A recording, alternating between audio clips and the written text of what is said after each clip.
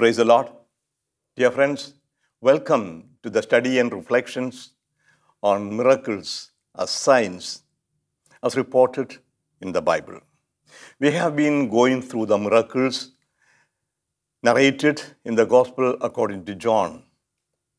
We have seen the Gospel is divided into two parts. The first part, chapter 12 chapters, presented as the book of signs, and the second part as book of glory. Now we come to the seventh sign, the last of the signs in the book of signs, that's in chapter 11. This is the longest narration. So in 54 um, verses, the story is narrated in various scenes. It's the raising of Lazarus. It is presented into, in seven scenes. The first in chapter 11, verses 1 to 6, is the illness of Lazarus and the request of the, the sisters to Jesus to heal him. The second scene, verses 7 to 16, tells about Lazarus' death and Jesus' decision to go to Bethany. The third scene, chapter 11, verses 17 to 27, Jesus meets Martha, discusses, and Martha's declaration of faith. The fourth scene, 28 to 37, Jesus meets Mary and weeps at the tomb. The fifth scene, the climax of it, Jesus' prayer, Jesus raises Lazarus, that is verse 38 to 44. Now comes the anticlimax in 45 to 53. The Jewish Sanhedrin decides to kill Jesus because he is considered as a threat to the entire Judaism. The Sanhedrin meets and decides to kill. And then the epilogue, 54 to 57, Jesus goes into hiding and the people look for him. So, in the seven scenes presented, uh, Jesus as the life, life entering into the realm of death and bringing the dead person back to life.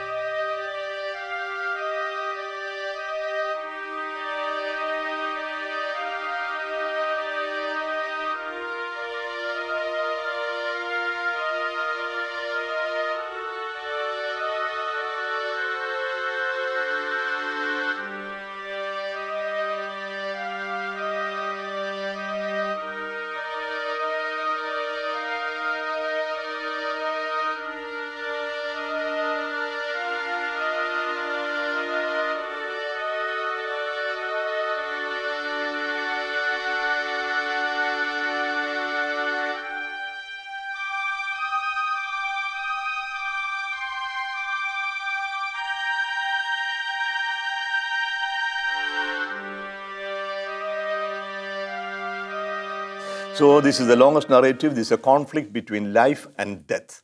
In the chapter 9, we saw the conflict between light and darkness. Now, Jesus is presented as the light and life of the world. The light that enlightens, the light that gives life. So, Jesus, the life of the world, is now giving life to a person who was dead and buried for four days and this also a kind of anticipation of what would happen with his death and resurrection, Jesus risen on the third day. Now let us read step by step. The first scene is chapter 11, verses 1 to 6. Now, a certain man was ill, Lazarus of Bethany, the village of Mary and her sister Martha. Mary was the one who anointed the Lord with perfume and wiped his feet with her hair. Her brother Lazarus was ill. So the sisters sent a message to Jesus Lord, he whom you love is ill. But when Jesus heard it, he said, This illness does not lead to death, rather, it is for God's glory, so that the Son of God may be glorified through it. Accordingly, though Jesus loved Martha and her sister and Lazarus, after having heard that Lazarus was ill, he stayed two days longer in the place where he was. So, this is the first scene. The characters are presented Lazarus, Martha, and Mary. All three are friends of Jesus, and they are living in Bethany. Bethany is a village um, northeast of, Bethel, of Jerusalem, about three kilometers. Now, if you go to visit Jerusalem, you will see Bethany and you see the empty tomb of Lazarus there. So, in the Gospel of Luke also, we see Jesus coming to visit Martha and Mary.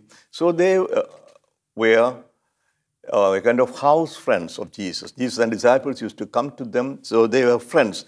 And this situation, Lazarus becomes ill. Lazarus is the name also, also is symbolic. There is only one name in the entire parables Jesus told that is Lazarus. Lazarus comes from the word Eliezer, uh, God my help. God is my help. In Malayalam we say Deva Sahayam. God helps. So the name itself is a confession of God's help. And this person is ill and Jesus knows that he is ill, but he doesn't go. And he said because through him or through his death and resurrection, raising, God's glory would be manifested. So the um, declaration of Jesus, this illness does not lead to death, rather it is for God's glory, so that the Son of God may be glorified. So Jesus knows that he will die and he will be dead, and Jesus also knows that the death will not be the end, he will be raised from the dead, and that will be the manifestation of God's power, love, concern, compassion, and manifestation of God's glory. So he stayed there. That's the first scene. The second scene, verses 7 to 16. Then after this, he said to the disciples, Let us go to Judea again. The disciples said to him, Rabbi, the Jews were just now trying to stone you, and are you going there again? Jesus answered, Are there not 12 hours of daylight? Those who walk during the day do not stumble, because they see the light of this world. But those who walk at night, at night stumble because the light is not in them. After saying this, he told them, Our friend Lazarus has fallen asleep, but I am going there to wake him. The disciples said to him, Lord, if he has fallen asleep, he will be all right. Jesus, however, had been speaking about his death, but they thought that he was referring merely to sleep. Then Jesus told them plainly, Lazarus is dead. For your sake, I am glad I was not there, so that you may believe, but let us go to him. Thomas, who was called the twin, said to his fellow disciples, Let us also go that we may die with him. The second scene, the decision to go to Bethany. We have seen in the chapter 9 the objection of the Jewish leaders was becoming stronger and they wanted to kill him. And chapter 10, it is said they tried to stone him and then he went away. Now, Jesus was away from Jerusalem, away from Bethany, and now he wants to come back. And the disciples are afraid to go to Jerusalem because there is a great danger awaiting them. But Jesus is ready to face. Now, the, the friend Lazarus is asleep. Jesus referring to death asleep. He said sleeping. He's going to awaken. But even otherwise, what is death, for example? We all die. And we think that is the end of it. But Jesus tells death is not the end. The moment you die, somehow you part from this world, from this body. But it's not your end. You are entering into a new phase of life without body, but you are your own self. So we call it a, a sleep, a sleep for, for awakening. So the body sleeps, so the body is, is um, somehow dissolved in the earth, but the body will rise again. So we are, when we call about eternal sleep, it's only referring to the waiting for the resurrection. But even the body is dissolved in the earth, the person is not ended. And we believe that the person, the moment of death, enters into the eternal life. And that's what Jesus said. He is asleep. I'm going to awaken him. Now, so the raising of Lazarus is only a, a pointer, indication that life does not end with death. Now, the fear of the apostles and the decision or the courage of St. Thomas is presented here. When people, all the other, other disciples are discouraging Jesus from going to Jerusalem, Thomas says, Let us also go and die with him.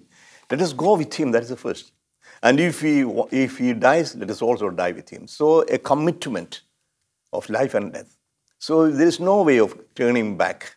That is the courage of the apostle and the apostle who was who came to our land in India and this promise or this uh, challenge was taken up and died as a martyr.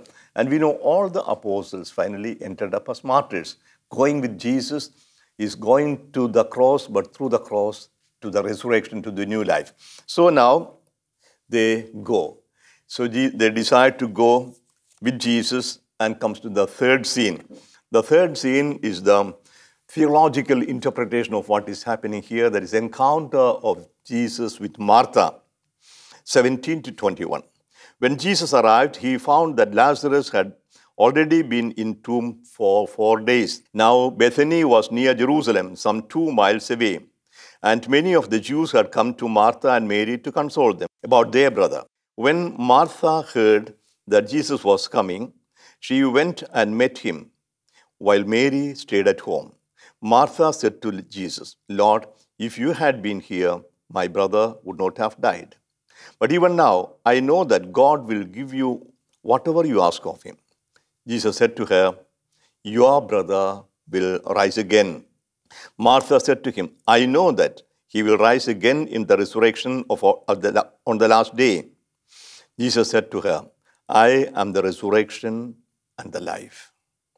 Those who believe in me, even though they die, will live. And everyone who lives and believes in me will never die. Do you believe this? She said to him, Yes, Lord, I believe that you are the Messiah, the Son of God, the one coming into the world. That's a confession of Martha. So the discussion is about life and death. Martha is speaking about the death and the resurrection at the end of the world.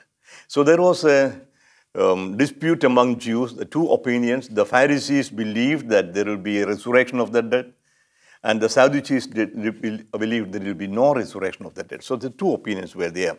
And here Martha is representing the Pharisaic opinion that there will be a resurrection of the dead, but that will be the end of the world. And she is telling, I know that they will rise, and my brother will rise on the last day. But then Jesus goes on to say what this life and what resurrection is. I am the resurrection and life. As a solemn revelation of Jesus. Jesus revealed to Martha. And we, when we compare this with the, with the story in chapter 10 of Luke, where Martha and Mary um, is receiving Jesus at their home, and Martha is very busy with, with the um, duty of the host, and Mary was just sitting quiet at the feet of Jesus. Martha came and said, Master, aren't you, uh, don't you see that my sister has um, uh, said, let me alone to do all this work? Ask her to come and help me. And Jesus said, Martha, Martha, you are busy with too many things. Only one thing is necessary. And Mary has chosen the best part, and it will not be taken away from her. So Martha has grown quite far from there. Now she can have a theological discussion with Jesus, and it comes to the confession that Jesus is the Christ, the Son of God. So a, law, a growth in faith. May Martha, as a exemplary disciple who proclaims her faith in Jesus as Son of God. Now, then the, the third, the fourth part is the encounter with Mary, 28 to 37. When she had said this, she went back and called her sister Mary and told her privately, The teacher is here and call, is calling for you. And when she heard it, she got up and got up quickly and went to him. Now Jesus had not yet come to the village, but was still at the place where Martha had met him. The Jews who were with her in the house, consoling her, saw Mary get up quickly and go out. They followed her because they thought that she was going to the tomb to weep there. When Mary came where Jesus was and saw him, she knelt at his feet and said to him, Lord, if you had been here, my brother would not have died. When Jesus saw her weeping, and the Jews who came with her also weeping, he was greatly disturbed in spirit and deeply moved. He said, Where have you laid him? They said to him, Lord, come and see. And Jesus began to weep. So the Jews said, See how he loved him. But some of them said, Could not he who opened the eyes of the blind man have kept this man from dying?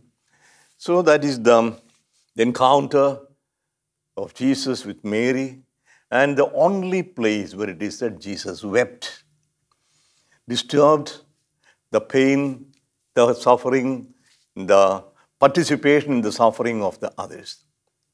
And Jesus is the manifestation, the compassion of God. A God who can feel, a God who can weep, a God who can love. Joy and sadness is not alien to God. He's not an insensitive being. Here, God manifests himself in Jesus as a person who cares, as a person who loves and participates in the joy and suffering, pain and sadness of the people. Now, the next scene, 38 to 44, where the miracle is uh, reported. Then Jesus, again greatly disturbed, came to the tomb. It was a cave, and a stone was lying against it. Jesus said, Take away the stone. Martha, the sister of the dead man, said to him, Lord, already there is a stench because he has been dead four days. Jesus said to her, Did I not tell you, if you believed, you would see the glory of God? So they took away the stone. And Jesus looked upward and said, Father, I thank you for having heard me. I knew that you always hear me. But I have said this for the sake of the crowd standing here, so that they may believe that you sent me. When he had said this, he cried with a loud voice, Lazarus, come out.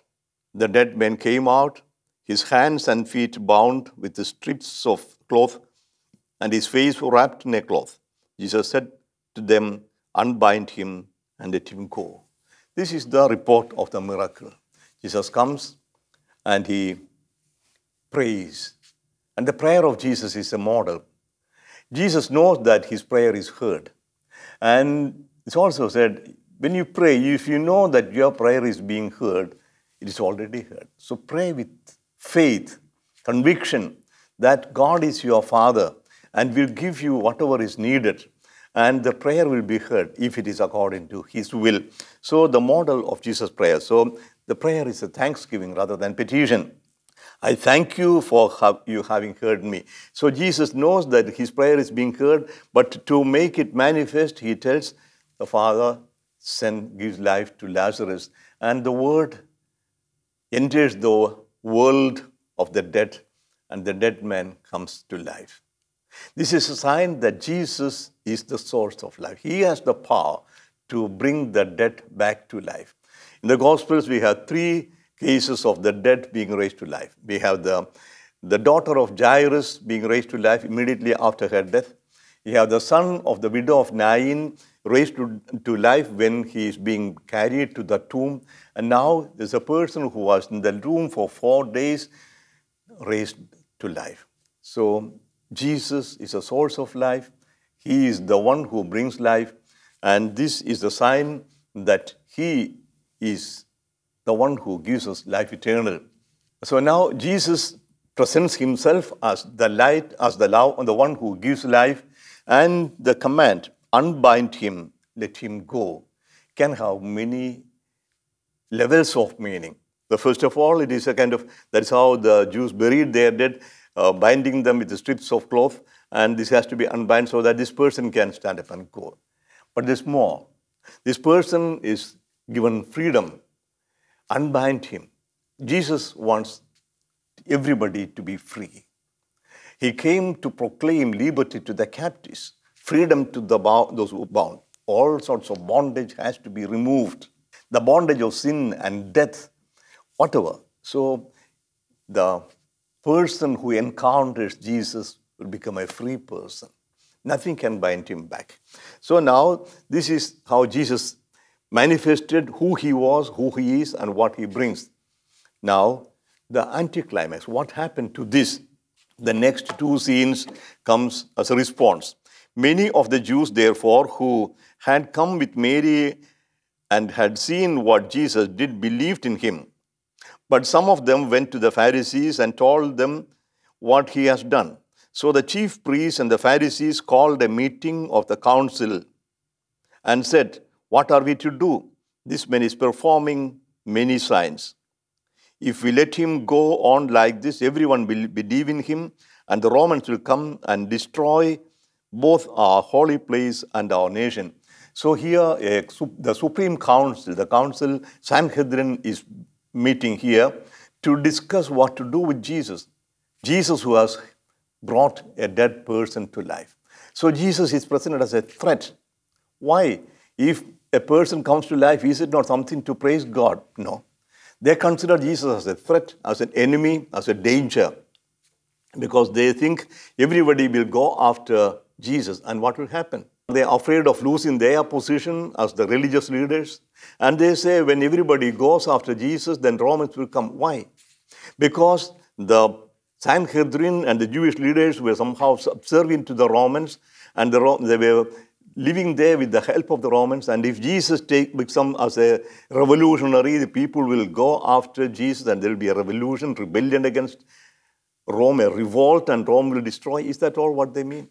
We don't know. Anyhow, one thing is important, one is interesting to note what the Sanhedrin decides. Now, one of them, Caiaphas, who was high priest that year, said to them, You know nothing at all. You do not understand that it is better for you to have one man die for the people than to have the whole nation destroyed. He's ready to kill a person so that the nation will be saved. That is what he meant politically. But John tells us this was a prophecy. He said, he did not say this on his own, but being high priest that year, he prophesied that Jesus was about to die for the nation, and not for the nation only, but to gather into one the dispersed children of God. So from that day, they planned to put him to death. That is how the story of the raising of Lazarus ends. That was the last sign, the seventh sign. Now comes the book of glory how Jesus is being glorified through his passion, death, and resurrection.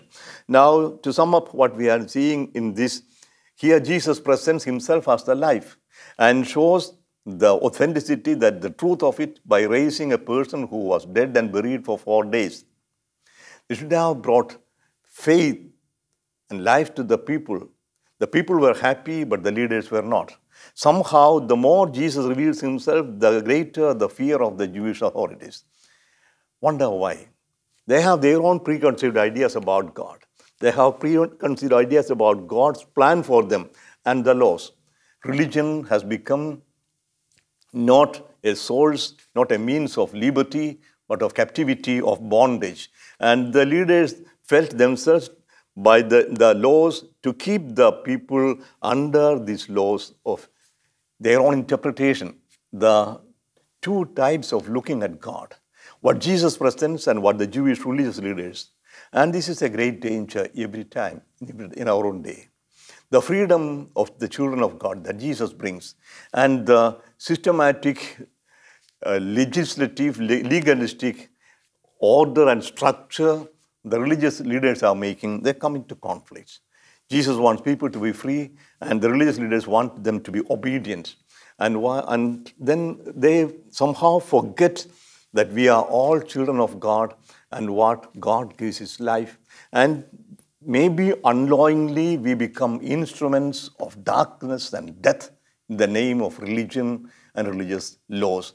It's a great danger that the religious authority, the Sanhedrin, encountered. And finally, when Jesus proclaims himself as the Son of God, they declare him a criminal, a blasphemer, a false prophet, and condemns him to death.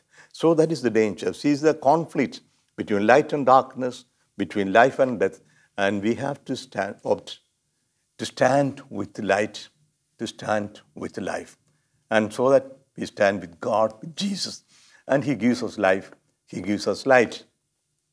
Heavenly Father, we thank you for sending your Son into this world of darkness, of sin and death, to bring us life, to bring us light, to bring us freedom as you are children.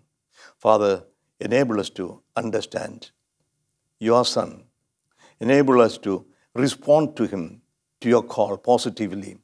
Send us your Spirit, illumine our hearts, strengthen our spirits. Give us the courage to stand up as a blind man did and stand and speak for you, speak with you, to be with you. This prayer we make through Christ our Lord. the name of the Father, and of the Son, and of the Holy Spirit. Amen.